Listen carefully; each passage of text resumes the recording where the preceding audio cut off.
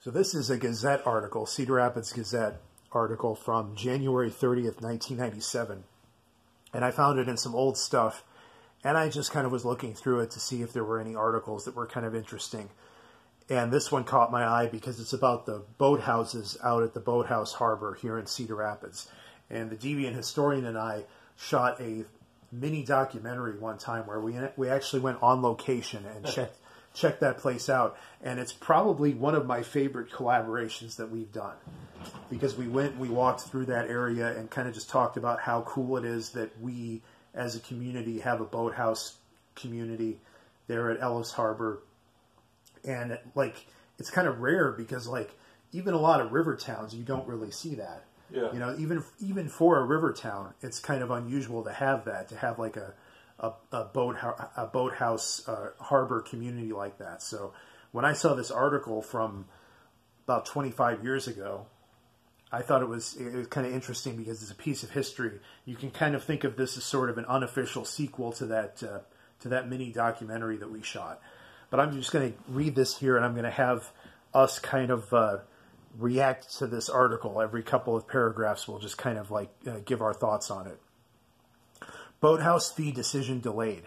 CR Council to review comments from owners by Rick Smith, Gazette staff writer. One line from boathouse owners who hold coveted leases at Cedar Rapids Ellis Harbor doesn't seem to sail with city council. It's the line about how boathouse owners are just like every other city taxpayer already paying property taxes for homes in Cedar Rapids. So why, the owners ask, should they face a big increase in fees to help offset city costs for services provided in their boathouses. Mayor Lee, Mayor Lee Clancey, you remember them? Yeah. At, what? Go ahead.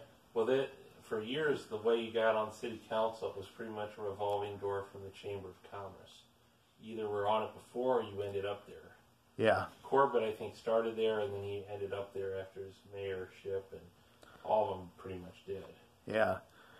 And a public hearing Wednesday assured a group of questioning boathouse owners that they, in fact, are special. Oh. Very few people, Clancey told the owners, can use the Ellis Harbor in the way that the 158 boathouse owners with harbor slips do. 158. I think they made it smaller. Like more people, they have more double lots than they do singles. They were all little shacks back then. Yeah.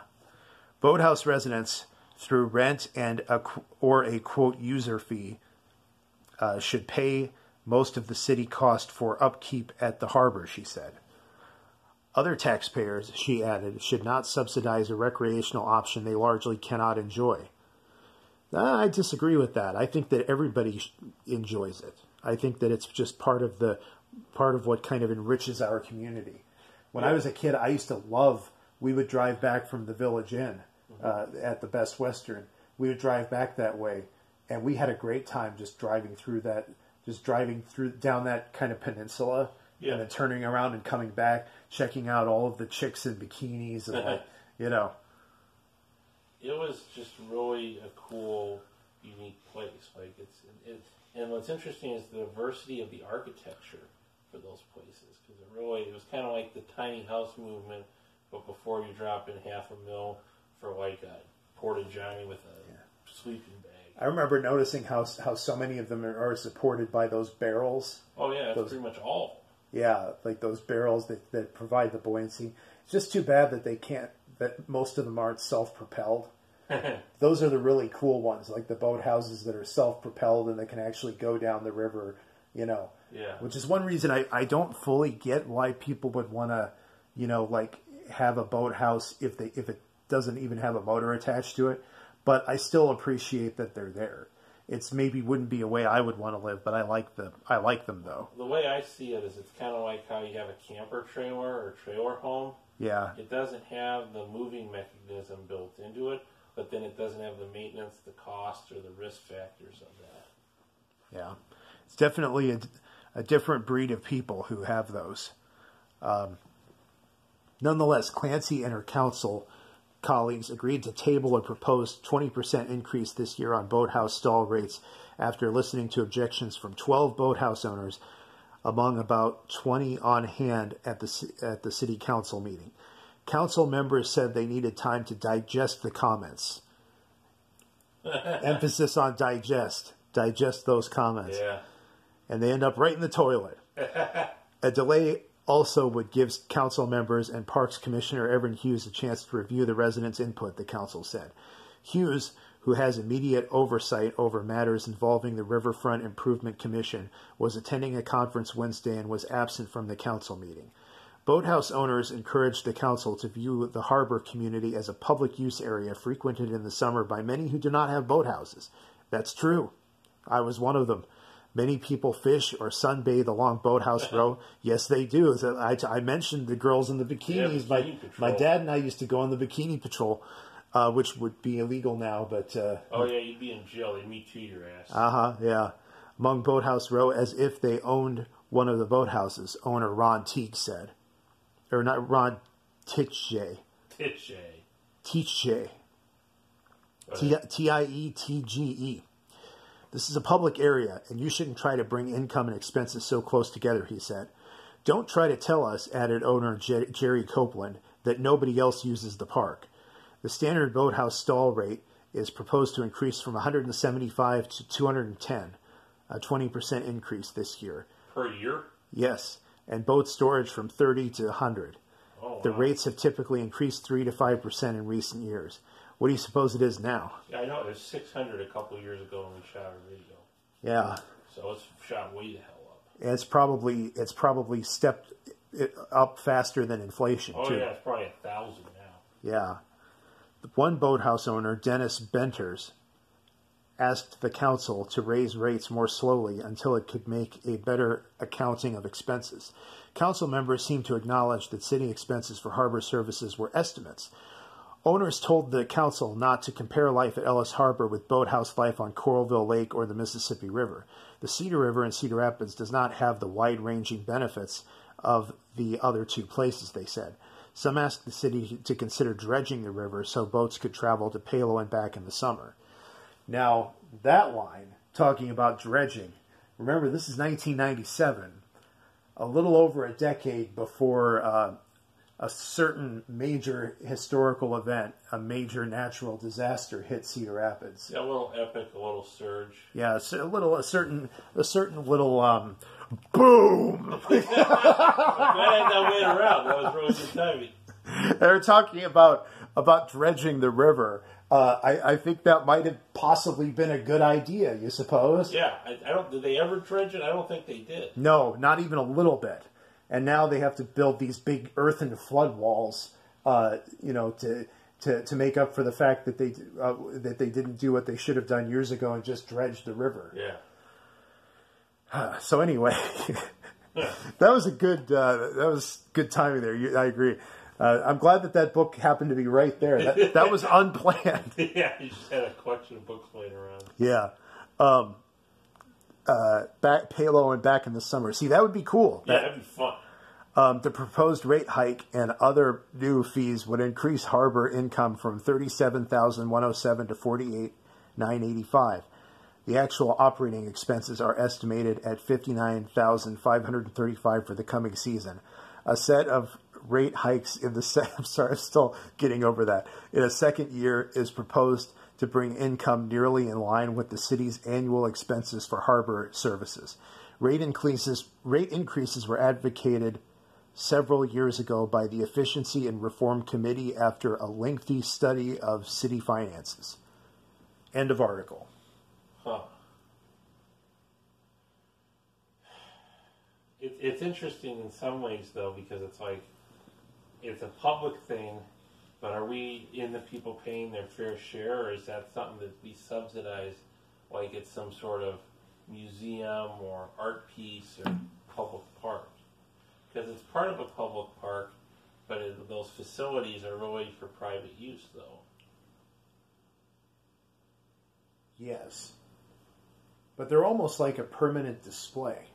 Yeah. It would it would almost be like akin to having a having a big statue. Like, Oh, we can't have any of those anymore. yeah, well, like the Statue of Liberty, Oh, okay. which is racist, by the way. Oh yeah. the Statue of Liberty and you know taxpayers having to pay for the upkeep and maintenance of the Statue of Liberty or the Golden Gate Bridge, although the, the Golden Gate Bridge is a bridge, but a big non-functional monument. Um, you know, I kind of think of the harbor, the boathouse harbor, as as even though there are there are people benefiting from it at, in the sense that it's their home, they're benefiting from it more than the general public. I still almost I think of the harbor as kind of like a, a in a sense a monument. Yeah.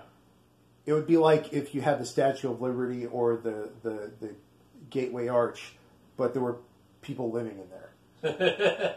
you know, like if you built loft loft apartments inside the Gateway Arch. Well, for me, it's interesting because it really symbolizes the start of the Northwest Side. And to me, it says, hey, the Northwest Side isn't that bad. And, and for that particular quadrant, those the Northwest Side, that's probably my favorite um, neighborhood and development in that area. You know. Yeah.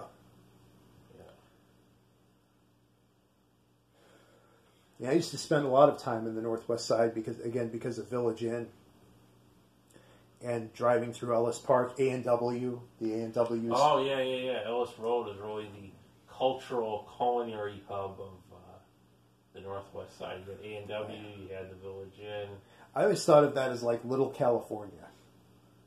That area. It was like it was like our sort of beach, beach, lifestyle type area.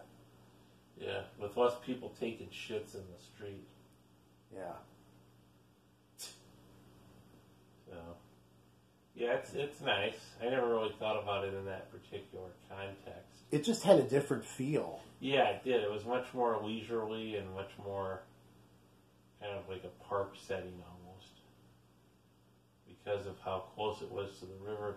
Because you look at the two north sides, you have northeast and southeast, and northeast on that side, or sorry, northeast and northwest and northeast on that side, it's all kind of built up. There's big mansions over there, but there's no houses on the lower level.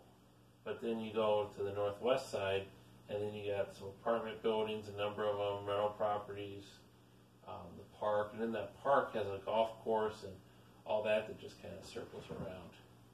You know? Yeah. And that whole park is on like a big slope. It's Yeah. like it's very um, it's very distinctive because it's basically on essentially like kind of a bluff. Um, another thing is uh, uh, that part of town was really badly hit by the derecho. Like I remember about a you know in the days after the derecho driving, I, I had a chance to drive down Ellis Road, and man, giant trees, just giant trees, Huh. uprooted, taking the whole yard with them, the whole Yeah. root system falling right on top of, of people's houses. And I mean, you saw that pretty much all over town, but the northwest and the southwest side in particular, I think, were badly hit. Well, I think they got worse winds, but then I would also say with those areas, especially northwest, in the floodplain, um, because of that huge flooding with the epic surge, um, it weakened a lot of the facilities that were there, so it made it more prone to, you know, give you issues. Well, yeah, I mean, there were there were parts of the northwest side where it it's it became a rural area again. Yeah, like it, you know, it looked it probably looked similar to what it looked like a hundred years before that. Pretty incredible, but but then there's a place that has like a stairwell, like three stairs outside. It looks like it's a fortress because they put this huge ass concrete basement in over there. yeah, So that's where Groundswell used to be. The old the old Groundswell was right across from uh, from Quaker Oats in that warehouse building that's not there anymore. But I actually really loved that location, and in some ways, I kind of wish we could have stayed there. Um, it uh, was kind of a lot of pleasant memories there. But you have the railroad bridge, which you still see you still see uh, um, uh, trains on there occasionally. Um, it's the only active railroad bridge I think I've ever seen in my life. really, I think so. Yeah. Oh, all the all the other other ones I've ever seen have been exempt, Oh, except for I don't know. Is the one way over on the other, like um, I don't know, but uh, it's one of the few at least. But anyway, I think that pretty much wraps up uh, the the whole uh, boathouse thing. And uh, did you have anything else to add? well, the paint, the image that I had. I Oh, yeah. friend. We can, uh, we can close it on that image. Uh, she took the photo, and then it's on metal, I believe. It's the boathouse. I wrote, or the this is the harbor we're talking about. I always really liked it and just found it aesthetically pleasing, and here we are. All right. Well, we salute you once again, Cedar Rapids Boathouse Harbor. That was their 50 year mark back in 97, too. I think they started in like 47, right after World War II. Their association was established. Let's hope for another 50. Yeah. That'll cover probably both of our lifetimes. Oh, so yeah. That, so that'll. Then after I die, I don't really give don't really give a shit what happens. But uh, all right, thanks for watching, everyone. And if you enjoy videos about Eastern Iowa history, make sure to subscribe to Captain Unusual for more.